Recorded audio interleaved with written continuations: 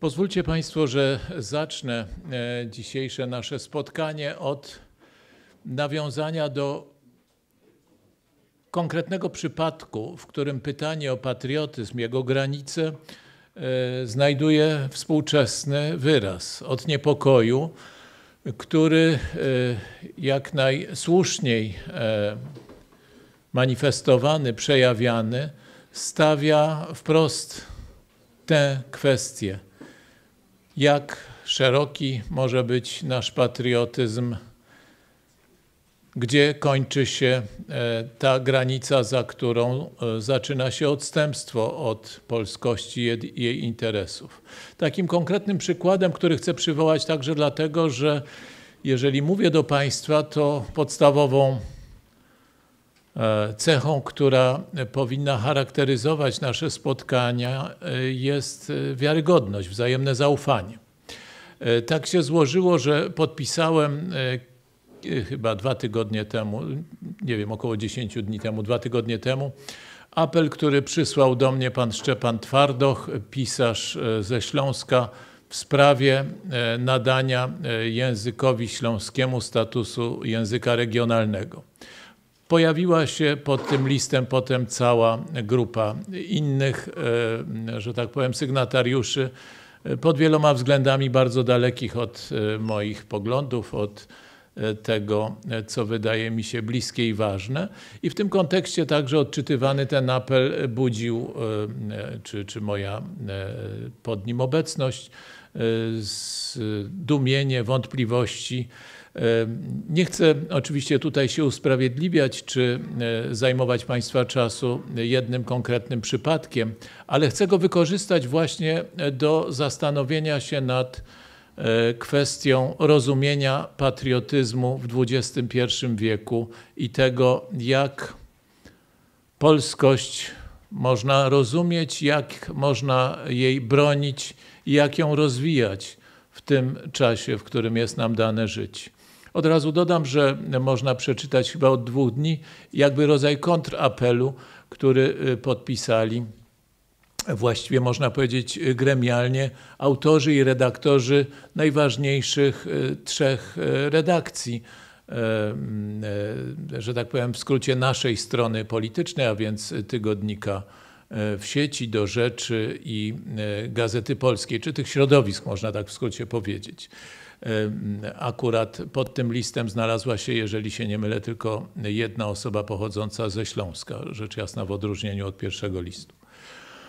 E, I to powiedziawszy, naszkicowawszy jakby punkt wyjścia, e, chcę e, przypomnieć kilka, no powiedziałbym, ważnych aspektów tego zagadnienia. Na pierwszy e, zwróciłem uwagę kilkanaście lat temu, e, pisząc taki felieton w gościu niedzielnym w tygodniku, do którego od 2012 roku mam zaszczyt i przyjemność pisać co miesiąc e, felietony.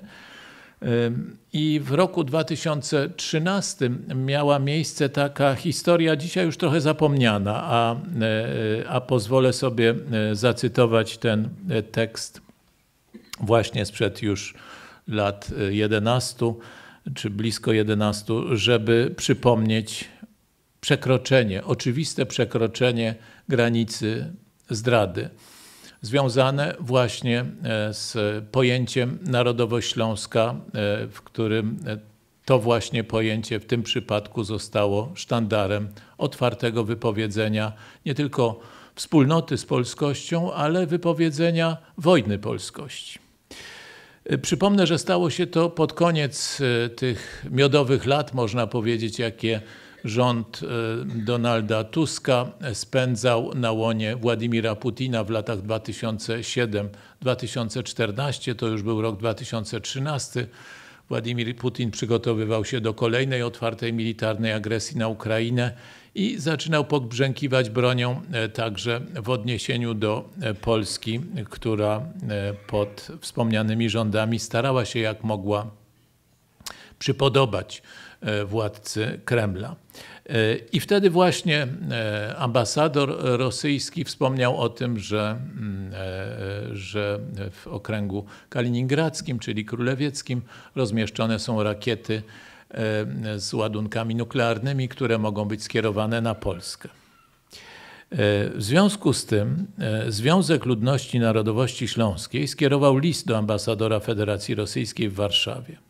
Zwolennicy wyodrębnienia Śląska z Polski zwrócili się do ambasadora o przekazanie ich prośby do prezydenta Putina, cytuję, o niekierowanie ewentualnych rakiet z głowicami jądrowymi w kierunku terytorium Śląska. Koniec cytatu. Trudno się z takim postulatem nie zgodzić, gdyby nie jeden drobiazg. Otóż autorzy listu dołączyli jeszcze jedną prośbę do swojej supliki. Cytuję. Mamy nadzieję, że Wasza Ekscelencja przekaże naszą prośbę władzom Federacji Rosyjskiej, aby w swoich poczynaniach uwzględniły odrębność Ślązaków od Polaków oraz uwzględniły fakt, że nie mamy wpływu na poczynania władz polskich, które są z natury antyrosyjskie i rusofobiczne. Koniec cytatu. Czyli Polakom się należy, kierujcie w nich swoje rakiety ile wlezie, bo to z natury, e, z natury rusofobskie plemię. My, naród śląski, to co innego. Reprezentanci Związku Ludności Narodowości Śląskiej podkreślili także, iż podzielają wrażliwość historyczną propagandystów Władimira Putina oraz pana Piotra Zychowicza i napisali tak, cytuję. W trakcie obchodów 70. rocznicy wybuchu wojny polsko-niemieckiej w 1939 roku, wojna polsko-niemiecka, czyli no nie wiadomo, może to jednak Polska napadła na Niemcy będącej dla Polski początkiem II wojny światowej, ale tylko dla Polski, bo poza tym to oczywiście nie miało znaczenia. Zaprotestowaliśmy przeciwko fałszowaniu historii przez Polskę dla potrzeb doraźnych, podkreślając współpracę Polski z Niemcami przed tą wojną. Koniec cytatu. No to jest czysty Zychowicz i Putin. To nie wszystko. Nieśmiało, ale przypomnieli jednak autorzy owego listu o tym, że czekają na akcję, jaką już Władimir Putin wykonał wobec innych uciśnionych i w, e, narodów, takich jak właśnie Gruzi, Osetyńcy w Gruzji, i że w pełni taką akcję popierają. Znów cytuję ciągle ten sam list Związku Ludności Narodowości Śląskiej. Cytat. Również w 2008 roku sprzeciwiliśmy się agresji Gruzji na Osetię Południową, za co w Polsce dokonano na nas medialnej nagonki. Koniec cytatu. Zdaję sobie sprawę, że tym tekstem daje dowód na trwałość owej straszliwej nagonki, jakiej poddani są w Polsce zwolennicy przyjaźni śląsko-rosyjskiej jeżeli przez Śląsk rozumieć wyłącznie panów Jerzego Gorzelika oraz Rudolfa Kołodziejczyka, założycieli cytowanego tutaj związku, a przez Rosję wyłącznie Władimira Putina. Sprawa jednak wydaje mi się poważna na tyle, że to oskarżenie zaryzykuje. Piszę bowiem mój tekst absolutnie serio, czas nie sprzyja żartom. To było 11 e, lat temu. E, czy teraz coś się zmieniło? Pewnym sensie nic się nie zmieniło, ponieważ osoby, które napisały ten list, powinny do tej pory siedzieć w więzieniu, oczywiście. To, to jest podstawowy problem, który pozostaje niezmienny w naszej historii. Jawna, otwarta zdrada, bo ten list jest jawnym dowodem zdrady. W dodatku chęci skierowania agresji obcego państwa na Rzeczpospolitą. No, trudno to inaczej e, odczytać. Te osoby nie tylko pozostają na wolności, ale nikt nigdy nie skierował przeciwko nim żadnego aktu oskarżenia. Nie wszczęte zostało żadne dochodzenie. I to jest pewnego rodzaju kwestia, o której musimy pamiętać i próbować ją zmienić, kiedy to państwo będzie mogło odzyskać swoją e, wewnętrzną suwerenność.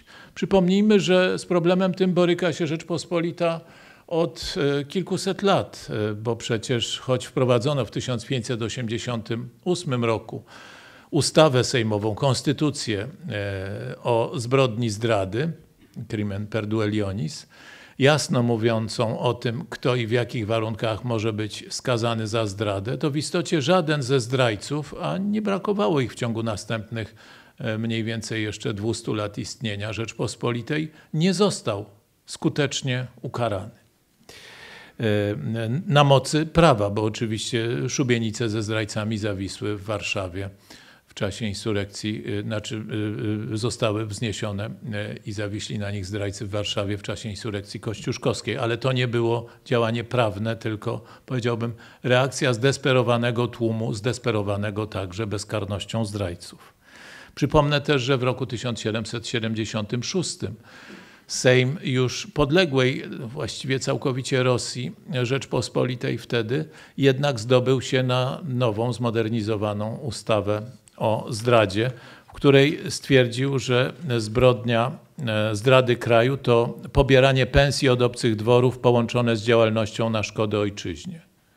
I to trzeba pamiętać. Trzeba pamiętać, odnotowywać te przypadki zdrady i przygotowywać dokumentację, która będzie służyła wymierzeniu im zgodnej z prawem sprawiedliwości. Te kwestie e, poruszał także zdesperowany również e, wcześniej jeszcze przed e, mieszkańcami Warszawy w roku 1794, ten, na którego często powołuje się w czasie moich wykładów, w czasie moich przypomnień, e, bo to jedna z najważniejszych postaci w naszej historii. Stanisław Konarski, ksiądz Stanisław Konarski, ten, który zreformował szkolnictwo w duchu nowoczesnego e, patriotyzmu, w takim sensie słowa nowoczesność, w jakim było ono rozumiane w XVIII wieku a który pierwszy przypomniał w XVIII wieku także pojęcie niepodległości Polakom, bo jakby zapomnieli o tym za fascynowani wolnością, wolnością od własnego rządu, wolnością od obowiązków wobec e, ojczyzny, jeżeli o tych obowiązkach tylko przypomina im e, legalnie wybrana władza. E, I w tekście, który ma charakter takiego fundatorskiego tekstu dla całej polskiej myśli niepodległościowej, nowożytnej, w listach e, e, poufnych czasu bezkrólewia z 1733 roku napisał te między innymi słowa. Cytowałem znacznie dłuższe fragmenty tego listu już kiedy indziej, więc tutaj tylko jego ostatni fragment. W każdej Rzeczpospolitej należy mieć na pierwszym miejscu wzgląd na własną rację stanu, potem dopiero na cudzą. To jedna rzecz, którą zawsze powinniśmy pamiętać. Godność i korzyści Rzeczpospolitej nie powinny być podporządkowane obcym interesom. Druga zasada. Ale trzecia, także bardzo ważna, jednym tchem wymieniona przez Konarskiego. Najgorszy sposób przekonywania jest taki, który wzbudza strach, odpowiedni dla umysłów niewolniczych, nie zaś wolnych. Wszystko zaś traci się w wolnej Rzeczpospolitej, gdy została utracona wolność. Jak rozumieć te dwa ostatnie zdania?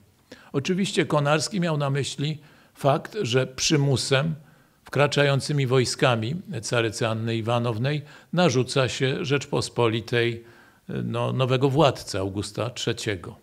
Więc przymus nie jest dobrym sposobem e, przekonywania ludzi do jakiejkolwiek, e, powiedziałbym, racji politycznej.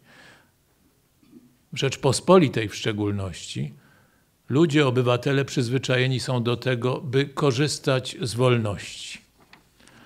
Zasadnicze zagadnienie zatem, jakie się tutaj otwiera i wciąż jest przed nami otwierane w naszej historii, to jest jak pogodzić wolność z niepodległością. Tę wolność, która łatwo przerodzić się może w swawolę, która łatwo może być wykorzystana przez sąsiadów do narzucenia Polsce zniewolenia zewnętrznego, jak, e, no, w skrócie rzecz ujmując, zachować tradycję Rzeczpospolitej, która stanowi, tej pierwszej Rzeczpospolitej, która stanowi jądro naszej tożsamości historycznej i trwać w wieku XX, XXI już w tej chwili, kiedy zmienił się świat, zmieniły się bardzo różne zresztą okoliczności funkcjonowania wspólnot politycznych i uwzględniając te zmiany, musimy wciąż na nowo pytać, jak pogodzić z tym wolność, do której jesteśmy przywiązani, z którą czujemy się połączeni historycznym, wielopokoleniowym doświadczeniem Rzeczpospolitej, z wymogami obrony niepodległości. I przypomina mi się wtedy to sformułowanie, którego użył jeden z wybranych przeze mnie w oczywisty sposób przykładów patriotyzmu w XX wieku. Ten przykład największy, najdoskonalszy, Jan Paweł II. W swojej książce rodzaju testamentu e, skierowanego do rodaków e, Pamięć i Tożsamość w rozdziale 15 Kultura i Naród, Jan Paweł II przypomina znaczenie tej epoki, którą nazywamy w skrócie jagiellońską w życiu Rzeczpospolitej. Tej wspólnoty narodów czy grup etnicznych, różnych wyznań, języków wewnątrz szerszej jedności, którą tworzyło poczucie obywatelstwa, obywatelstwa w Rzeczpospolitej.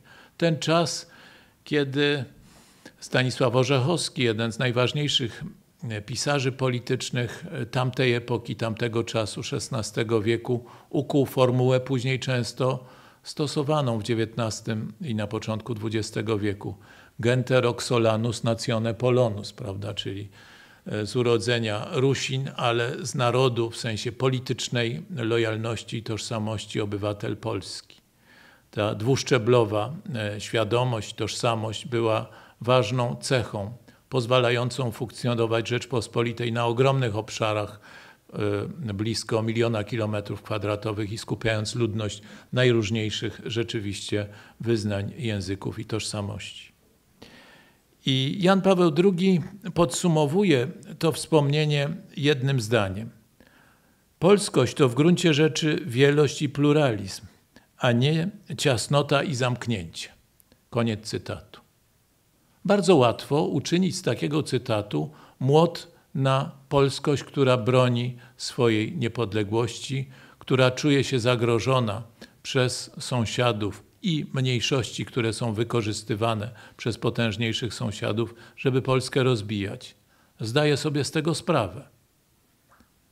Ale Jan Paweł II napisał to zdanie nie dlatego, że był publicystą takiej czy innej gazety, czy że nie przemyślał go dostatecznie głęboko, ale dlatego, że płynęła e, ta refleksja z jego niezwykle głębokiego przeżycia polskości, jej historii i kultury.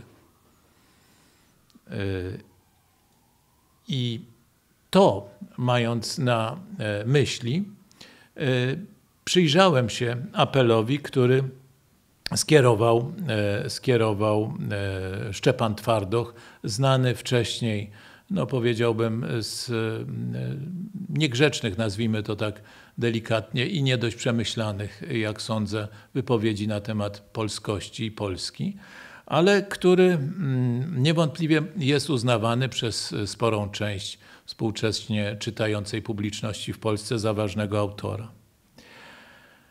Ten apel zwraca uwagę na to, iż językowa i kulturowa różnorodność jest bogactwem Rzeczpospolitej, a nie zagrożeniem dla niej.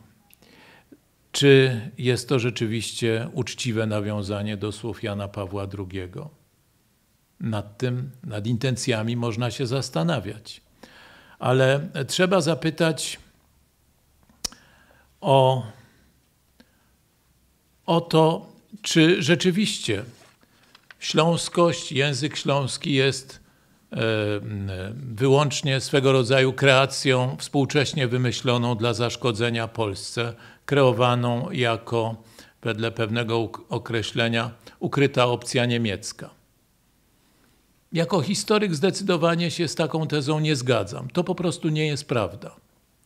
Śląskość, śląska tożsamość rozwija się przez co najmniej siedem wieków obok Polski. Nie w ramach państwa polskiego, tylko w ramach innych wspólnot politycznych, którym Śląsk był podporządkowany, co najmniej od czasu, kiedy Kazimierz Wielki, jak się okazało już na 604 lata e, pożegnał Śląsk jako dzielnicę korony w roku 1340. I tak długie doświadczenie e, istnienia e, wspólnoty, e, która wcześniej tworzyła część piastowskiej Polski, tej jednoczącej się Polski, zmagającej jednocześnie o te dzielnice z Czechami, sąsiednim, a bardzo agresywnym w stosunku do korony Królestwa Polskiego e, państwem, e, z niemieckimi władztwami od zachodu nasuwającymi się. Ta historia śląska niewątpliwie tworzy szczególne, specyficzne, odrębne i szerokie w sensie terytorialnym, dotyczące także szerokiej pod względem ludnościowym grupy, e, no można powiedzieć, mieszkańców wielopokoleniowego doświadczenia. Kiedy zastanawiałem się nad sensem tego szczególnego miejsca na mapie Polski, jakie stanowi Śląsk, przyszła mi na myśl także trzecia część najważniejszego, najpiękniejszego i najpowszechniej rozpoznawanego na świecie utworu polskiej muzyki, po oczywiście Fryderyku Chopinie. To jest Symfonii Pieśni Żałosnych e, Henryka Mikołaja Góreckiego. Ten największy przebój, można powiedzieć, muzyki klasycznej końca XX, początku XXI wieku w skali całego świata. Przypomnę, opiera się e, w wersji tekstowej na trzech e, krótkich mm, tekstach. Jeden to jest e, tekst średniowiecznego lamentu mm, świętokrzyskiego z pieśni łysogórskich. Drugi to jest krótki napis na celi E, więzienia e, gestapo w Zakopanem, e, gdzie dziewczyna skazana na śmierć zdążyła napisać tylko no, taką jakby pociechę dla matki. Mamo, nie płacz, niebios przeczysta królowo, ty zawsze wspieraj mnie. Trzecia część zawiera najdłuższy tekst i jest to mm, tekst piosenki napisanej w języku śląskim albo gwarą śląską. Niech się językoznawcy spierają. W każdym razie autentycznej piosenki matki, która straciła syna w powstaniu e, z Opolskiego. I matka nie identyfikuje się z żadną ze stron walczących w powstaniu. Matka identyfikuje się tylko z synem, którego straciła. Bardzo piękne, wzruszające słowa napisane w tym szczególnym, można powiedzieć, języku, czy też gwarze. E, w tej chwili w ten spór nie wchodzę. Czy mamy e, uznać tych, którzy chcą zachować ten język i chcą e, dla niego takich gwarancji prawnych, jakie uzyskał język kaszubski, za e, ludzi, których głosu nie możemy wysłuchać? Przypomnę, jak wyglądają szczegóły tej ustawy, która została uchwalona i o której zaakceptowanie apeluje ów list. Na mocy tej ustawy język śląski ma być wpisany do ustawy o mniejszościach narodowych i etnicznych jako drugi, obok języka kaszubskiego, język regionalny. Oznacza to możliwość wprowadzenia do szkół dobrowolnych zajęć z języka śląskiego, montowania dwujęzycznych tablic z nazwami miejscowości, gdzie używanie języka śląskiego deklaruje ponad 20% mieszkańców, dofinansowanie działalności związanej z zachowaniem języka śląskiego czy wprowadzenie do Komisji Wspólnej Rządu i Mniejszości Narodowych i Etnicznych dwóch przedstawicieli osób posługujących się językiem śląskim. Tak dokładnie wygląda treść tej e, ustawy. E, no, niebezpieczeństwa, jakie stąd wynikają, zaraz e, będzie można scharakteryzować głosami komentatorów, którzy nadesłali mi swoje opinie wprost na mój adres mailowy, ponieważ są podpisani nieanonimowi, to tym chętniej mogę ich cytować. E,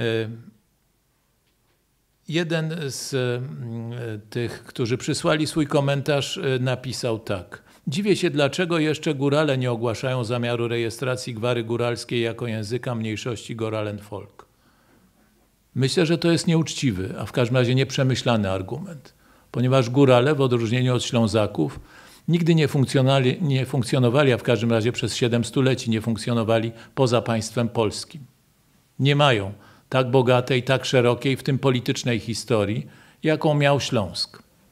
A więc stawianie ich na jednej płaszczyźnie wydaje mi się y, ryzykowne, chociaż rozumiem oczywiście intencje piszącego, intencje przestrogi. No jeżeli uznamy prawa takich y, języków, które staną się punktem zaczepienia do tworzenia tożsamości mniejszościowych e, wspieranych przez państwo, wspieranych przez Unię Europejską, doprowadzimy do rozbioru wewnętrznego Rzeczpospolitej.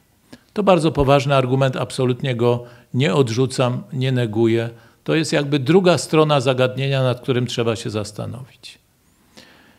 Inny e, korespondent, profesor, pisze do mnie tak.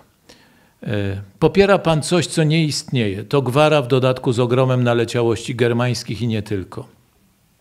Dziwi mnie, że wziął Pan udział w tej chucpie z tym śląskim. E, no, tutaj e, może na tym poprzestanę. To nie jest list niegrzeczny, tylko krytyczny.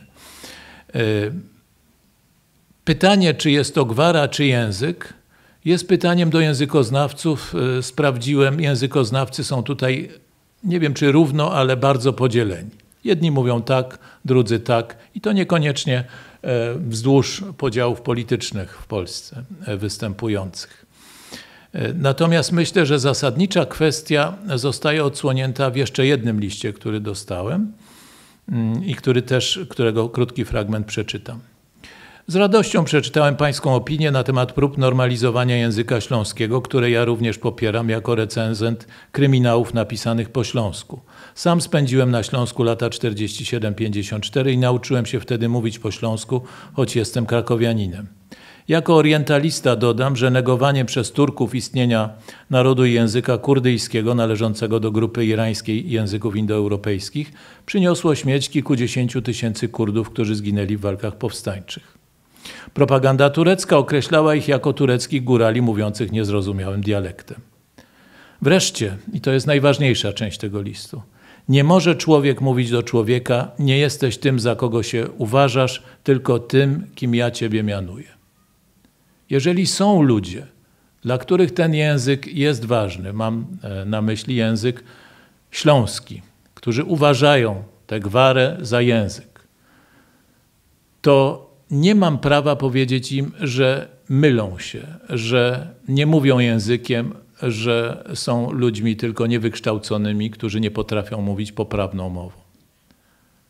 Dlaczego z pełnym przekonaniem przywołuję ten argument jednego z moich korespondentów. Dlatego, że zajmuję się historią Polski przede wszystkim XIX wieku, w sensie zawodowym, ściśle źródłowym, e, historii Polski pod rozbiorami i wiem, jak konsekwentnie stosowano tę metodę wobec Polaków, e, zarówno władze rosyjskie, jak i władze e, niemieckie.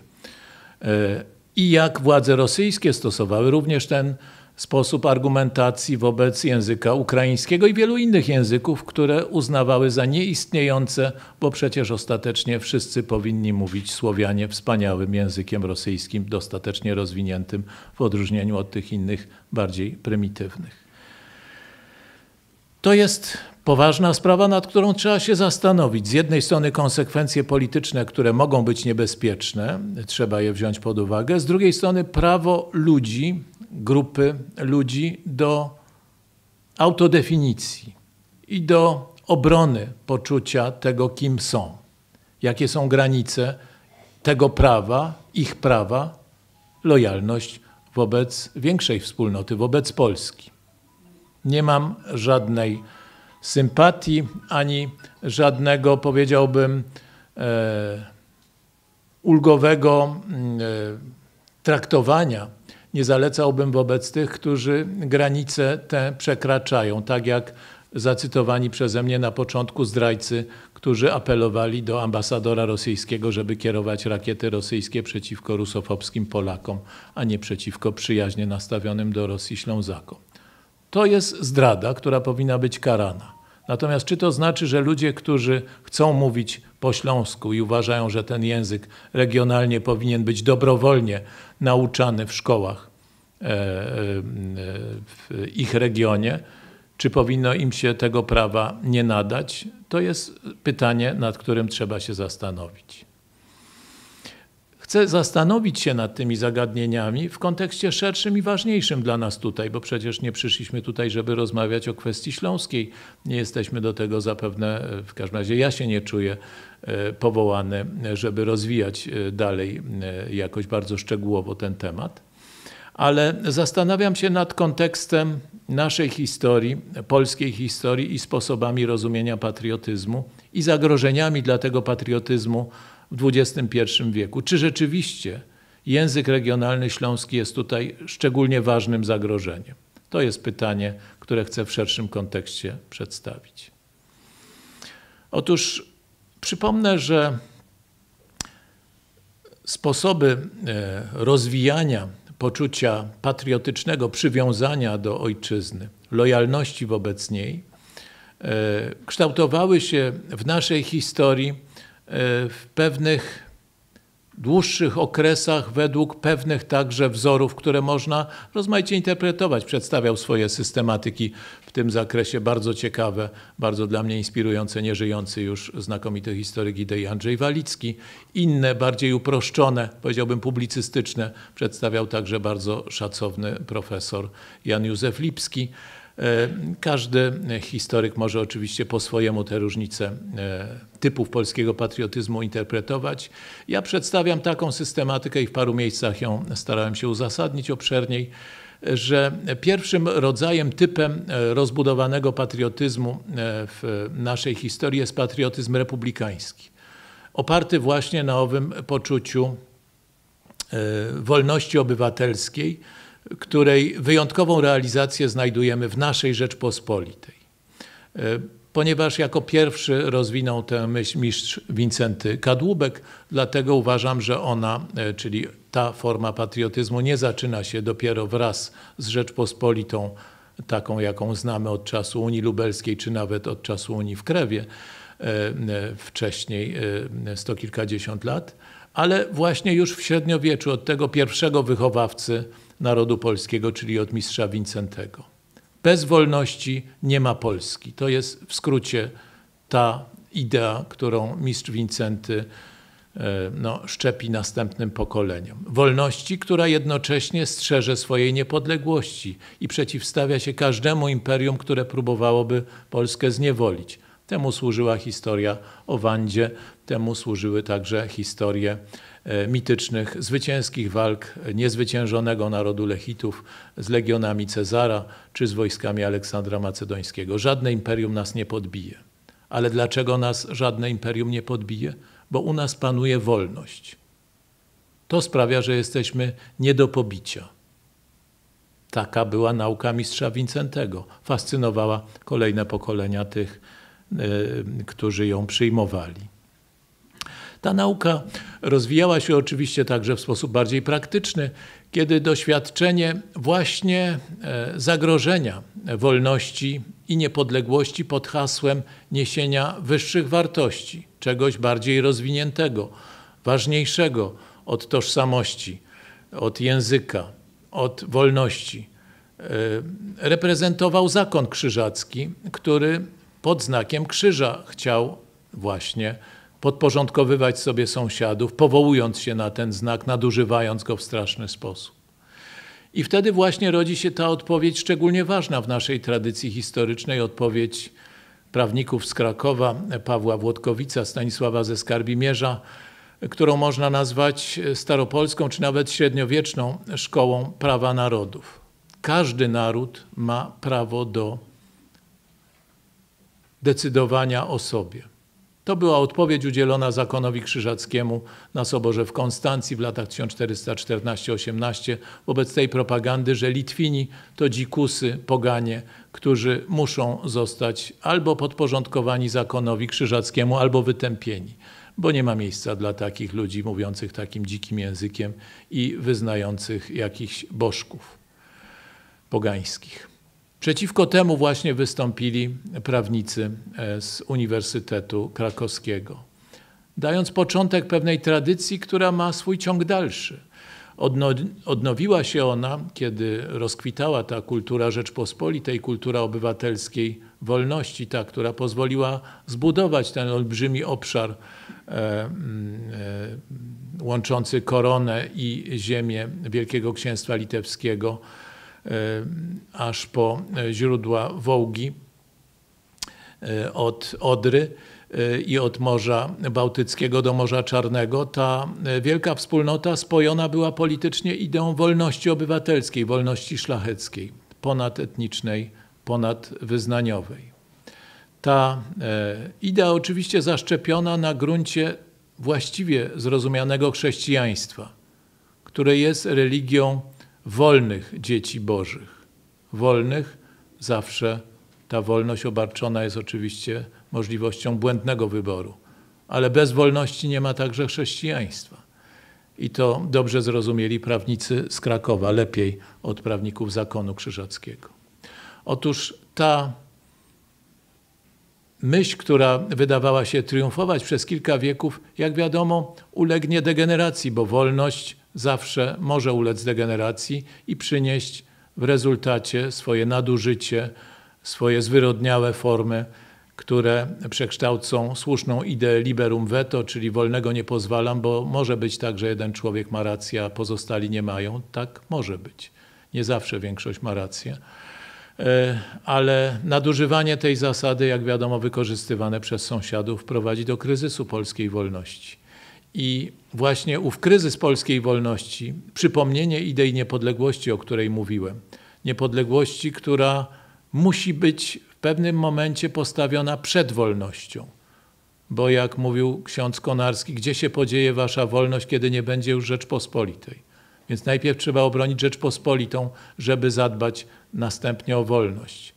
To przypomnienie łączy się jednakże w wieku XVIII w polskiej myśli politycznej z odnowieniem koncepcji y, prawa narodów. Tej koncepcji, którą wykładają w końcu wieku XVIII w szkołach Komisji Edukacji Narodowej ksiądz Wincenty Skrzetuski, ksiądz Hieronim Strojnowski, najważniejsi twórcy e, tej, można powiedzieć, nowej e, szkoły czy nowego etapu polskiej szkoły prawa narodów, powtarzający, że każda wspólnota etniczna ma prawo do obrony swojego języka i do ochrony, i że nie można jej podbijać, podporządkowywać e, wyłącznie w imię wyższych jakichś wartości, na przykład cywilizacji bo już w wieku XVIII nie mówiono o chrześcijaństwie jako uzasadnieniu podboju, ale mówiono o cywilizacji jako uzasadnieniu podboju.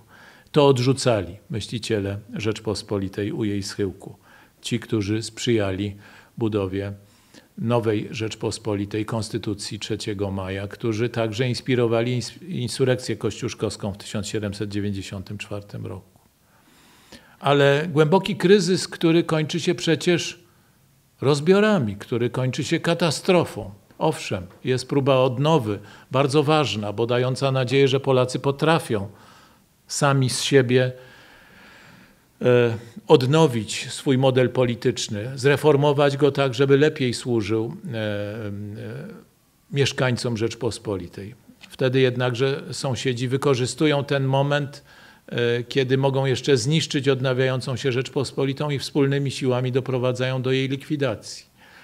Ten straszny moment, przedłużający się w czasie do 123 lat, oczywiście jest okresem, kiedy naturalnie polskie elity podejmują refleksję nad tym, to może jednak zły był ten model polityczny, o którym do tej pory mówiłem, ten model republikański z wolnością w centrum, Przefrymarczyliśmy tę wolność, sprzedaliśmy ją sąsiadom i teraz pijemy gorzką wodę emigrantów albo gorzki chleb przeżuwamy ze słańców na Syberię, czy tych, którzy muszą płacić podatki, służyć wojsku, ale nie swojego państwa, nie swojej ojczyzny, tylko obcych imperiów.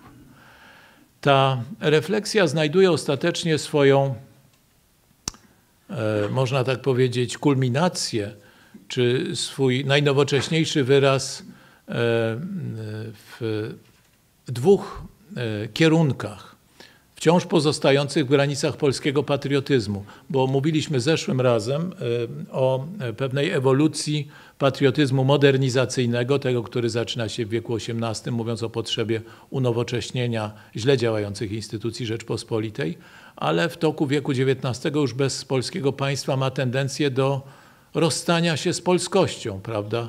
To jest socjalizm waryńskiego. Socjalizm, w którym ostatecznie e, reprezentanci tego nurtu machną ręką na polskość, potraktują ją jako przeszkodę w drodze do nowoczesności, która rysuje się pod czerwonym sztandarem.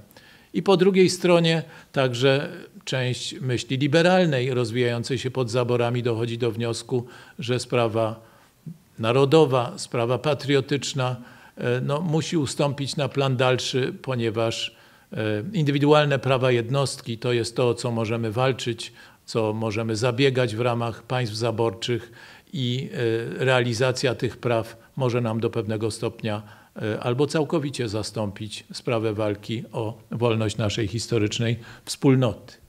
A więc tutaj widzimy, jak patriotyzm modernizacyjny w dwóch swoich niejako odnogach, wariantach może, nie musi, ale może wykroczyć poza granice patriotyzmu, przestaje być patriotyzmem. Ale ja mówię o innych dwóch, powiedziałbym, odnogach czy kierunkach patriotyzmu, który przeformułowuje się na progu wieku XX. Ma dwóch bardzo wyrazistych reprezentantów. Jeden to Józef Piłsudski, drugi to Roman Dmowski. Obaj zasługują na i uwagę, i szacunek ze względu na to, z jakim przekonaniem, wiarą w przyszłość Polski podejmowali dzieło walki o to, żeby Polska wróciła na mapę, żeby Polska znowu stała się siłą w XX wieku. Ale robili to z dwóch różnych, bardzo różnych perspektyw, podchodząc czy wychodząc do tego dzieła. Piłsudski łączył w pewnym sensie, połączył na nowo patriotyzm niepodległościowy, w którym hasło niepodległości walki, przede wszystkim o odzyskanie granic, o pokonanie tych groźnych sąsiadów, czynem zbrojnym, e, przygotowaniem nas do takiego czynu, łączył z przekonaniem o potrzebie ochrony wolności, powrotu do tradycji Rzeczpospolitej, tej tradycji ponadetnicznej, ponadwyznaniowej, tradycji, e, która miałaby jakoś nawiązywać w szczególności do jego mniejszej ojczyzny, czyli do Wielkiego Księstwa Litewskiego. A więc połączenie tego patriotyzmu republikańskiego z patriotyzmem niepodległościowym. Roman Dmowski idzie w innym kierunku. Roman Dmowski odrzuca patriotyzm republikański jako przestarzały, anachroniczny, pozostały szlachetczyzny, która e, w formie już XIX-wiecznej żyje przebrzmiałymi mrzonkami pod hasłami romantycznymi, hasłami takimi jak za wolność waszą i naszą, hasłem, przypomnę, stworzonym przez Adama Mickiewicza i Joachima Lelewela, będącym kontynuacją tej polskiej szkoły prawa narodów, o której mówiłem, od Pawła Włodkowica i e, Stanisława ze Skarbimierza. Dla Dmowskiego to jest mrzonka, to jest fikcja, bo świat jest terenem bezwzględnej walki między wspólnotami politycznymi, tak jak jest bezwzględnej walki terenem między e, jednostkami, między e, rozmaitymi grupami występującymi w przyrodzie. I trzeba przyjąć tę brutalną prawdę, trzeba zatem odrzucić to dziedzictwo zauroczenia, zafascynowania wolnością indywidualną w obrębie Rzeczpospolitej, wolnością, która przez romantyzm przetrawiona wydaje się już kompletnie nieadekwatna do wyzwań XX wieku i trzeba zahartować Polaków w duchu nowoczesnej walki z sąsiadami, z mniejszościami, w których każde wzmocnienie mniejszości wewnątrz Polski jest śmiertelnym dla Polski zagrożeniem. To jest oczywiście uproszczenie, ale chyba niedalekie od kierunku myśli pana Romana od kierunku jego znakomitej, jednej z najważniejszych w historii polskiej myśli politycznej książki e, Myśli nowoczesnego Polaka, napisanej 121 lat temu. Warto sięgać do tej lektury. Ale to jest niewątpliwie manifest połączenia patriotyzmu niepodległościowego z modernizacyjnym ale modernizacja rozumiana jest tutaj w duchu nowo, unowocześnienia narodu, zahartowania go w walce z realnymi przeciwnikami, którzy są na zewnątrz i wewnątrz. Tak to ujmuje Roman Dmowski. Czy mogę powiedzieć, że któryś z tych dwóch patriotyzmów, Dmowskiego i Piłsudskiego, jest całkowicie do wyrzucenia na śmietnik, do przekreślenia? Bardzo wielu domaga się takiego wyboru mówi, no nie, nie, nie, to, to albo Piłsudski jest bohaterem, e, Admowski łajdakiem, albo odwrotnie.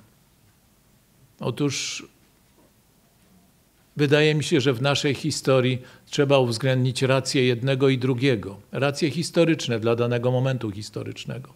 Natomiast my tu i teraz, w wieku XXI, w roku 2024, możemy zastanowić się, który z tych dwóch modeli, który z tych dwóch kierunków jest nam bliższy, który może skutecznie odpowiedzieć na wyzwania, zagrożenia, e, które e, odczuwamy jako wspólnota. Myślę, że te rozważania ogólne, które tutaj pozwoliłem sobie zaproponować po owym śląskim, w cudzysłowie czy bez cudzysłowu, wstępie, mogą nas wprowadzić już wprost w sytuację z tego roku i zastanowić się nad miejscem zagadnienia, od którego zacząłem, kwestii języka regionalnego śląskiego, w kontekście szerszym innych no, dostrzeganych przez nas tu i teraz wyzwań mm, czy sytuacji, które traktujemy jako niebezpieczne. No, zwróćmy uwagę, że dochodzimy niewątpliwie w tej chwili, a raczej chyba ją już przekraczamy, granicę modernizacji, za którą rozstajemy się z polskością. Tego dotyczył apel, który odczytała na wstępie naszego spotkania pani y, Dobrowolska. To jest apel, żebyśmy tej granicy nie przekraczali, żebyśmy pamiętali o tym, że wychowanie, szkoła y, nie może rozstać się całkowicie z polskością inaczej niż za cenę zdrady. Możemy to zrobić, ale wtedy stajemy się zdrajcami. Zdrajcami pewnej trwającej tysiąc lat wspólnoty kulturowo-językowo-historycznej. A jednak widzimy w tylu różnych przejawach przekraczanie tej granicy współcześnie. Ta tendencja, którą obserwujemy, jest groźna zarówno dla wolności, jak i dla niepodległości. Oba te sztandarowe, można powiedzieć, hasła które nie były tylko hasłami, ale żywymi ideami w naszej historii przez pokolenia, są współcześnie śmiertelnie zagrożone. Są zagrożone wprost. Dam przykłady czytelne, które wszyscy Państwo znacie.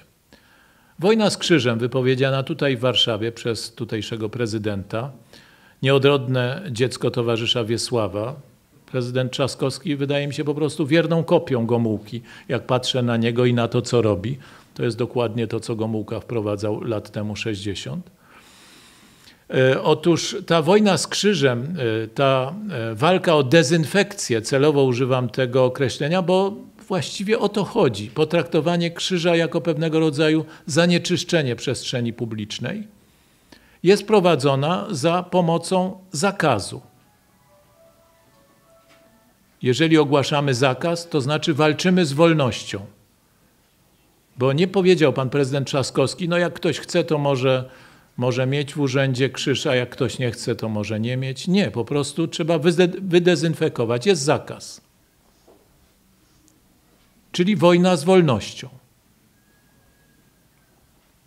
Po drugie, mamy do czynienia z oczywistym przykładem wojny z pamięcią, i z językiem. To są dwa aspekty tożsamości, wolności i niepodległości jednocześnie. Oczywiście terenem tej wojny jest szkoła. To zagadnienie, o którym wspominała pani e, e, Dobrowolska w apelu, ale w tylu innych aspektach swojej i nie tylko swojej działalności.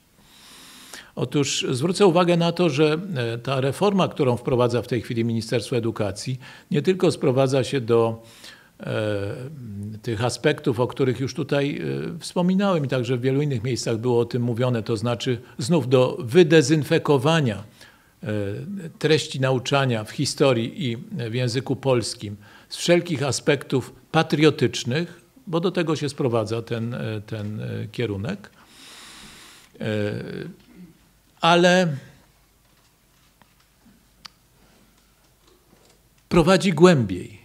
I na ten głębszy aspekt reformy chcę zwrócić uwagę mm, y, w kontekście, który uświadomiła mi właśnie pani Dobrowolska z y, nadsyłanymi linkami, że tak powiem, nadsyłanymi y, odsyłaczami do rozmaitych, powiedziałbym, niekomentowanych szerzej przez publicystów Y, aspektów y, tej reformy. I nie chodzi tylko o to, że po pracy oczyszczania naszego programu nauczania, programu nauczania naszych dzieci, wnuków z aspektów patriotycznych nastąpi w oczywisty sposób faza druga, czyli wprowadzenie wątków pozytywnych, które będą ich wychowywały w jakimś kierunku. Skoro nie polskim, to jakimś innym, prawda? To oczywiście jest kwestia europejskiej przestrzeni edukacyjnej, jak się to nazywa.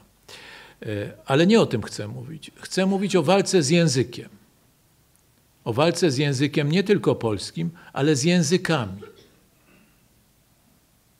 Jako podstawowym narzędziem trwania tożsamości i rozwijania tożsamości oraz trwania i rozwijania wyższej kultury człowieka.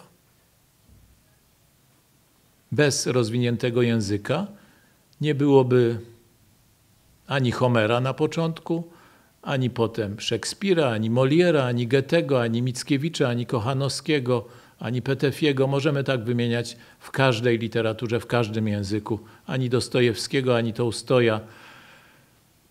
Nie byłoby ich.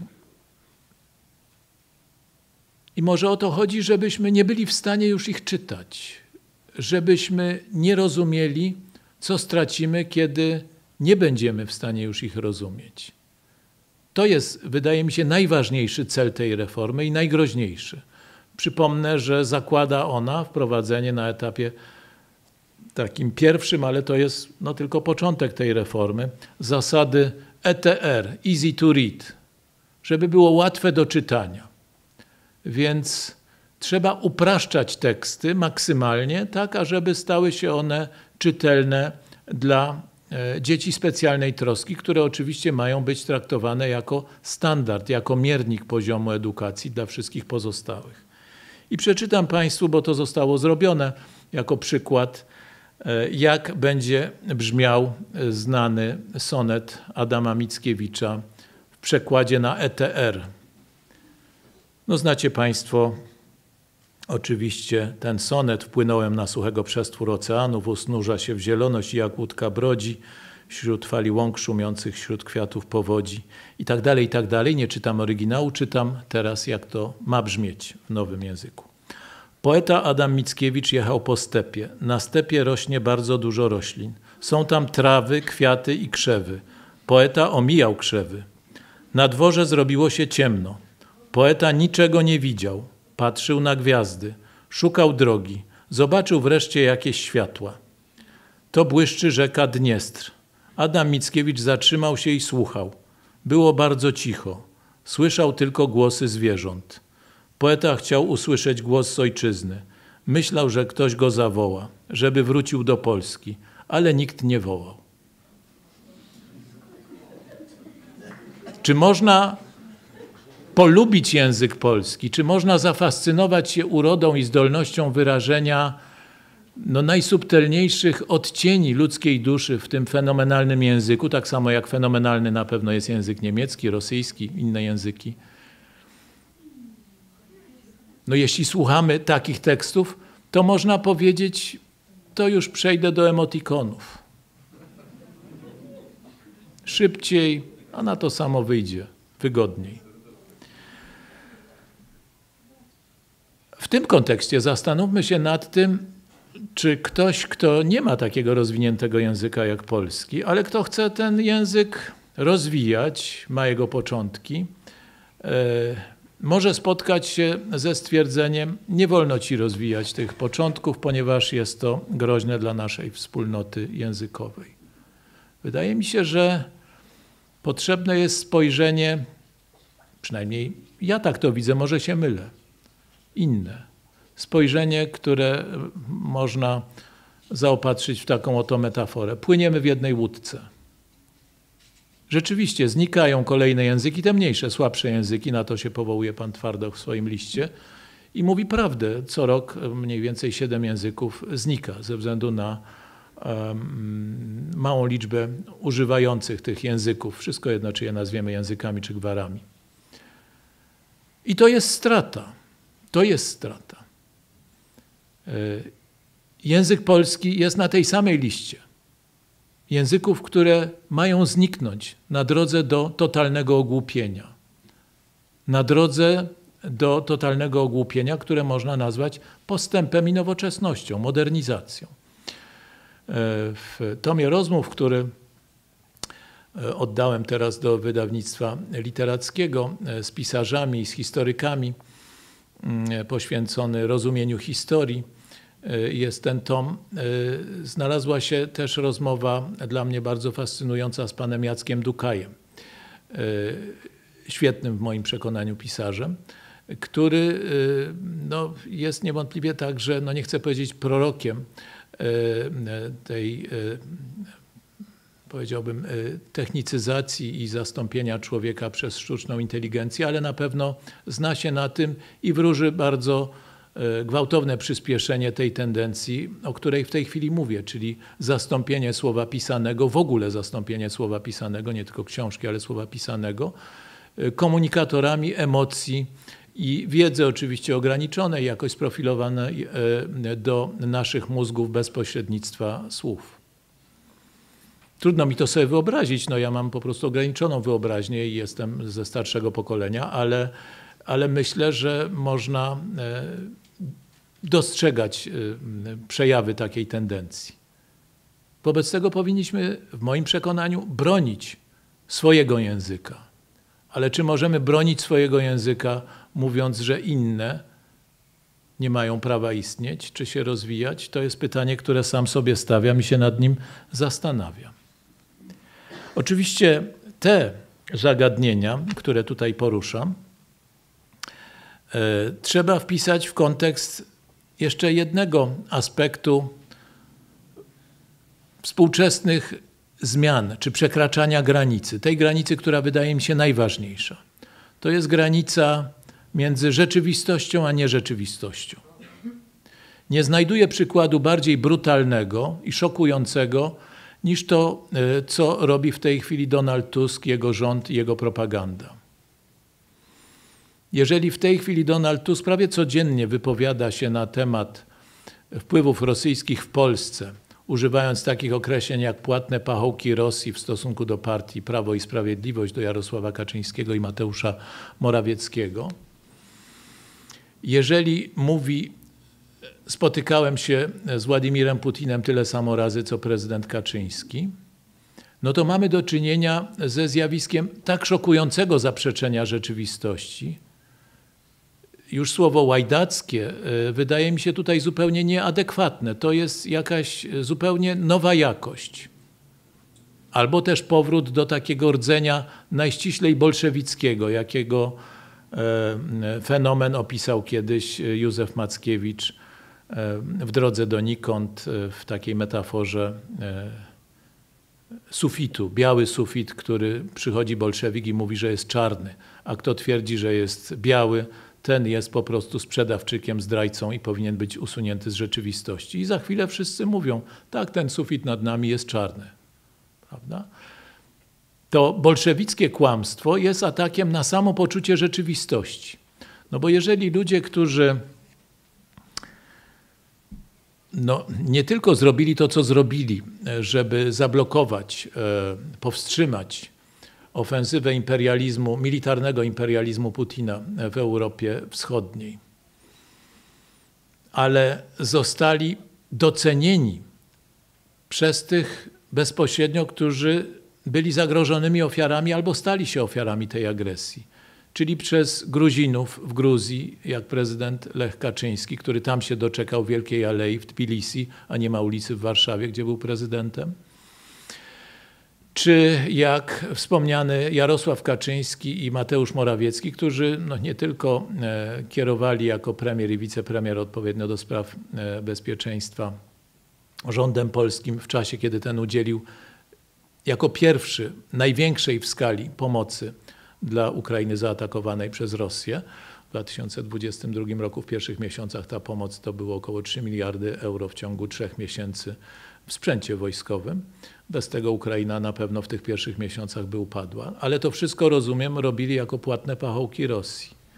I jako te płatne pachołki Rosji pojechali jako pierwsi, jeszcze kiedy nikt inny tego nie robił, do Kijowa żeby wesprzeć walczących przeciwko tejże Rosji Ukraińców i zostali za to nagrodzeni symbolicznie tablicami pamiątkowymi w Alei Odwagi w Kijowie jest taka aleja. I wszystko jedno, czy się zgadzamy z ich polityką, czy nie, czy nam się to podoba, czy nie, po prostu to było faktem i to jest udokumentowane.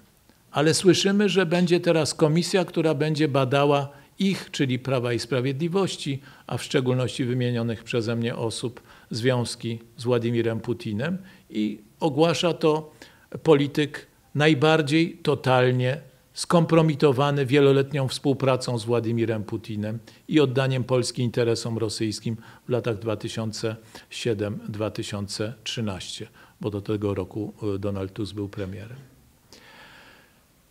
No to właśnie, przepraszam, że o tym mówię, wydaje się to bez związku, e, ale koniecznie trzeba przypomnieć ten atak na rzeczywistość jako zagrożenie w moim przekonaniu największe, najbardziej szokujące, najbardziej poruszające.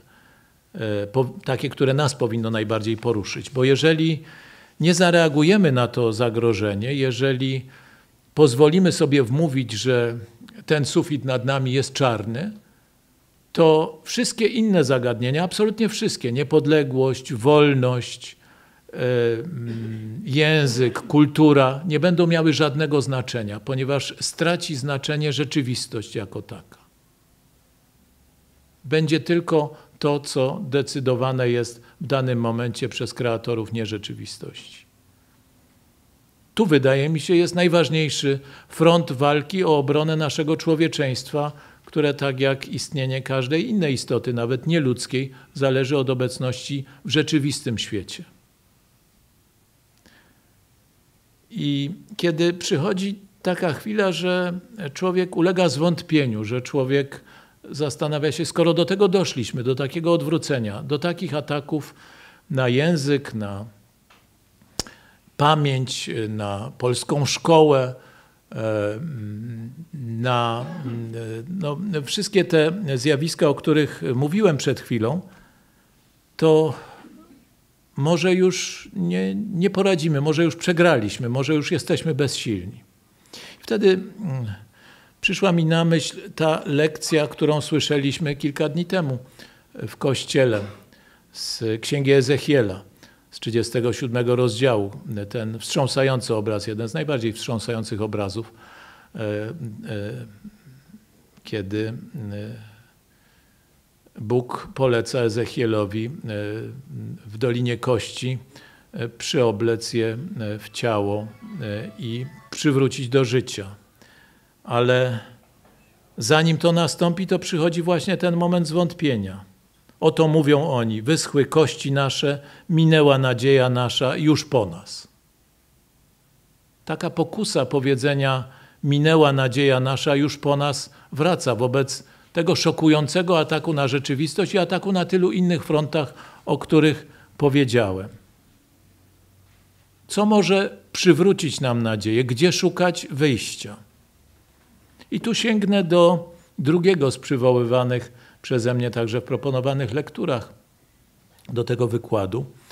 E, wzorów, modeli, przykładów najpiękniejszych, najświetlejszych patriotyzmów w XX wieku. E, to jest e, błogosławiony prymas tysiąclecia kardynał Stefan Wyszyński.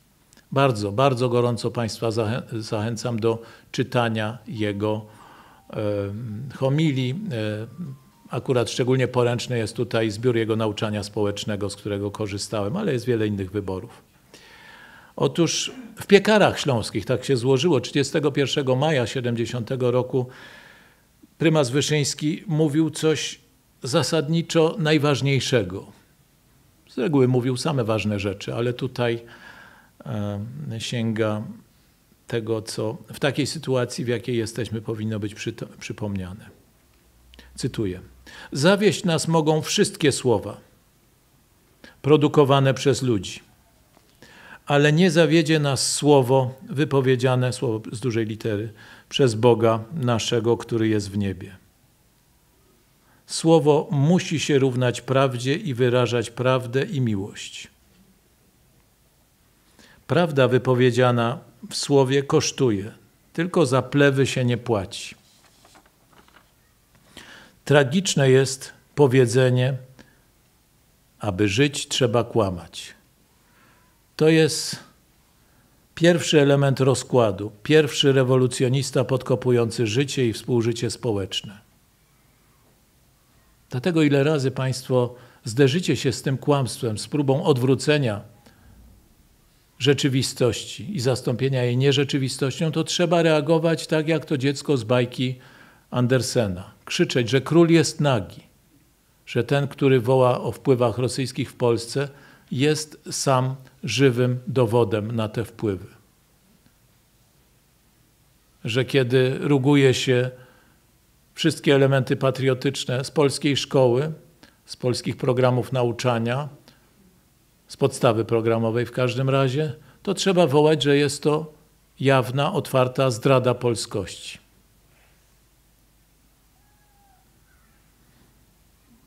Ale powinniśmy także pamiętać to, o czym mówił Stefan Wyszyński w tej samej homilii. Cytuję, iż z żywego słowa nie może rodzić się to, co zabija. Żywe słowo powinno być słowem pojednania i łączności braterskiej. Zawsze o tym powinniśmy pamiętać, jak próbować przynajmniej budować drogę do spotkania z tymi, którzy w naszym przekonaniu zbłądzili. Nasze przekonanie oczywiście może być błędne, my też możemy błądzić. Tak jak ja oczywiście mogłem zbłądzić w liście, od którego, e, podpisując się pod listem, o którym e, powiedziałem. E, nie neguję racji tych, którzy podpisali kontrlist, ale to, co powinno nas łączyć, to poczucie wzajemnego szacunku i przekonania o tym, że powinniśmy odbudować łączność między nami. Powinniśmy odbudować wspólnotę między nami. Wspólnotę, z której wykluczeni muszą być tylko zdrajcy. Ci, którzy przekroczyli granice polskości i wystąpili otwarcie przeciw niej. Ale wszyscy pozostali powinni być ogarnięci tą zasadą pojednania, łączności braterskiej.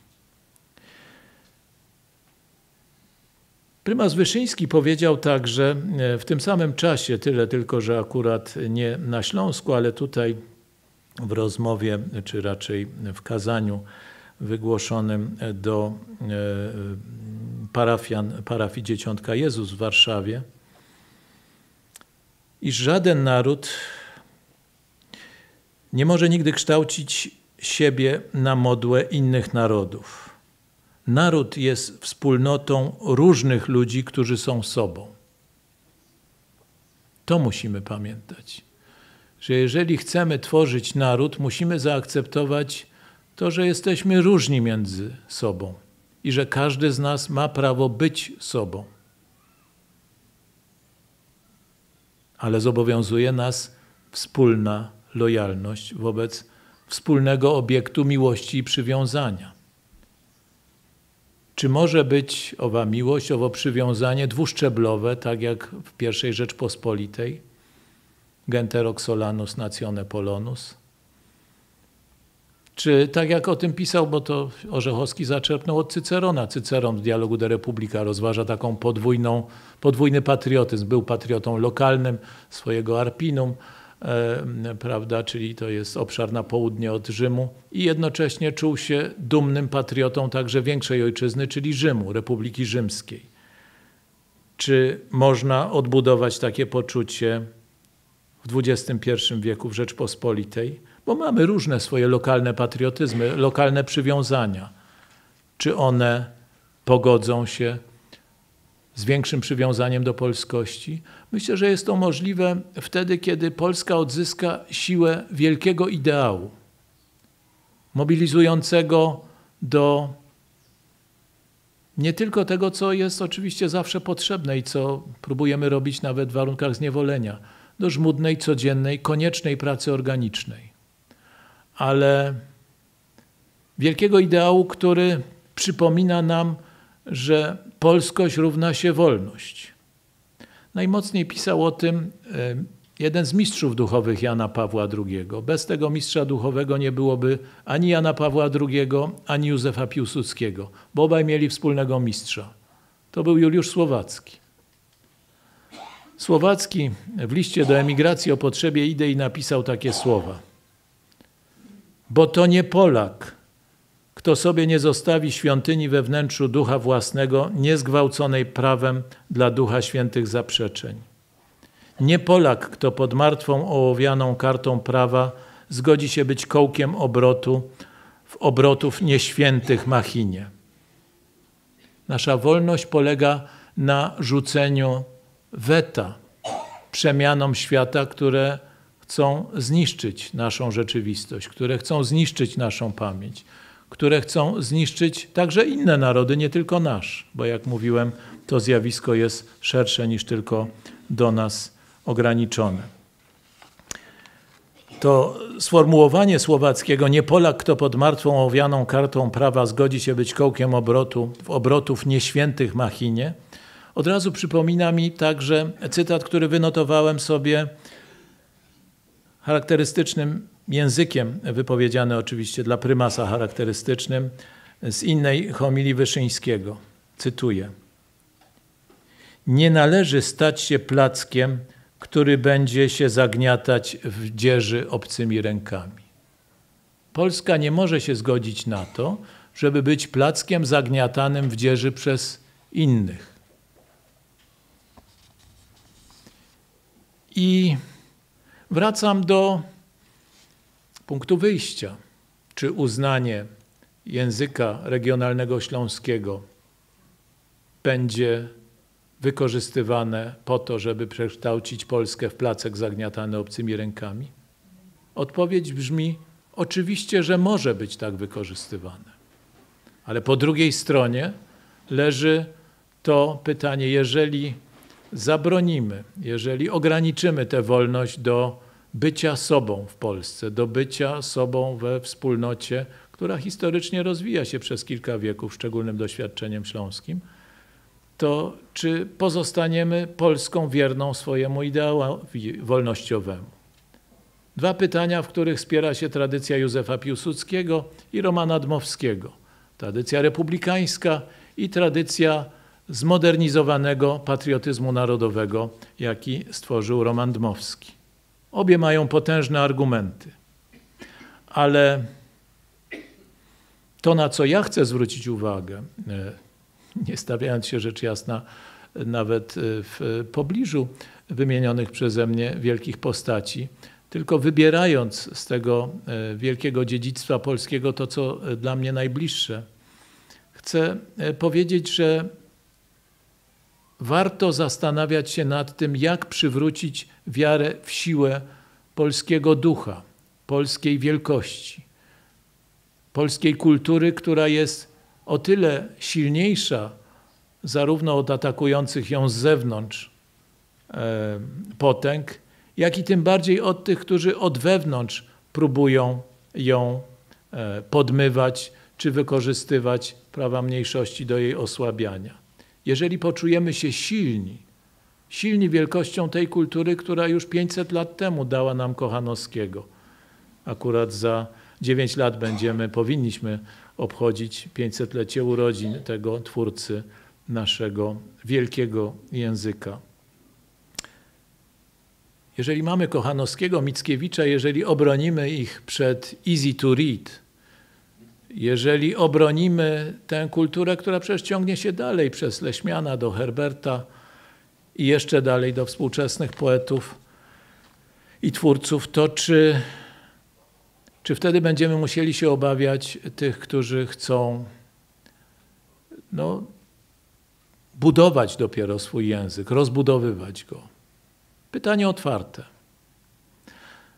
Zacytuję na koniec formułę e, Jana Pawła II, e, którą także w zwięzły sposób zawarł w pamięci i tożsamości. Cytuję.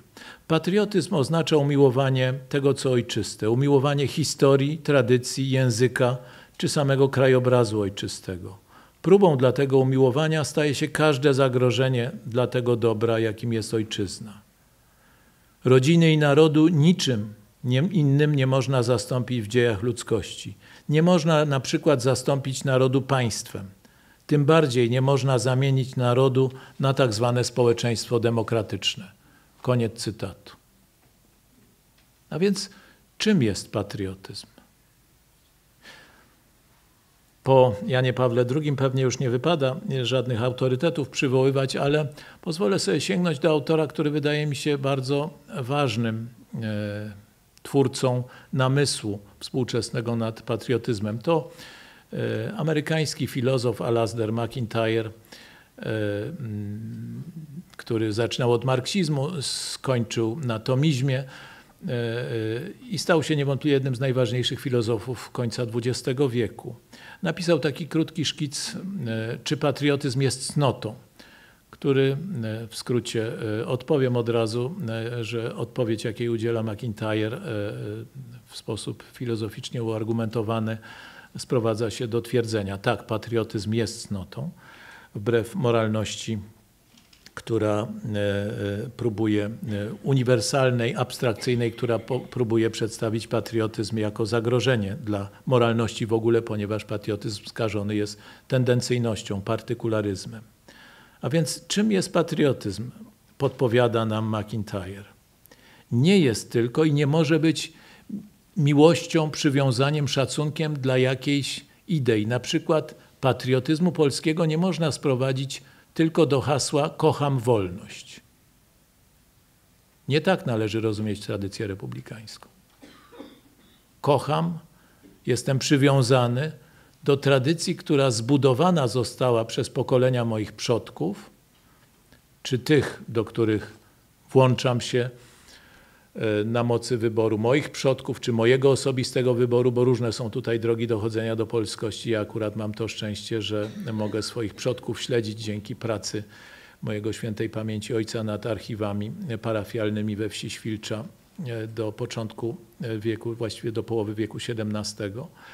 E, ale niezależnie od tego, czy ktoś do tej wspólnoty przystąpił w wieku XX, czy może się wylegitymować starszym rodowodem szlacheckim, rycerskim od XI e, czy XII wieku, to ważne jest to, że wybieramy przywiązanie do tej wspólnoty, w której rozwija się jakaś idea uniwersalna. Nie samą tylko ideę uniwersalną, bo nie można być patriotą wolności można być patriotą polskiej tradycji wolnościowej, w której wolność znalazła szczególnie bogate odzwierciedlenie od kultury słowa po kulturę instytucji politycznych. Ale patriotyzm oznacza także elementarną lojalność wobec wspólnoty. Nie ma patriotyzmu bez lojalności. To nie jest jednakże lojalność no można tak powiedzieć, oparta wyłącznie do, mm, na, e, na zasadzie my country right or wrong, prawda? To znaczy mój kraj, niezależnie od tego, czy to, co robi, złe czy dobre. Ta lojalność opiera się na historycznej tradycji, stąd wynikającej czy wynikającym poczuciu wdzięczności. Bo nie może być tak, że nie widzę złych rzeczy, które w mojej wspólnocie y, były robione, ale na pewno nie może być tak, że wspólnotę moją mogę cenić jako złą, nie, nie widzieć w niej niczego dobrego. Patriotyzm polega na zrozumieniu wdzięczności, jaką żywić musimy wobec tych, którzy nas poprzedzają, którzy na przykład stworzyli ten język. Bohater e, dzisiejszego wykładu to właśnie język. Bez tego języka nie umielibyśmy wyrazić siebie. Tylu skarbów ludzkiego ducha nie umielibyśmy odnaleźć, gdyby nie ten język, w którym e, wypowiadali się właśnie wspomniani przeze mnie poeci. To oczywiście tylko przykład, bo bardzo wiele innych rzeczy zawdzięczamy tych, którzy nas poprzedzają, naszym rodzicom, dziadkom i całej tej wspólnocie, która budowała e, świat, w którym żyjemy.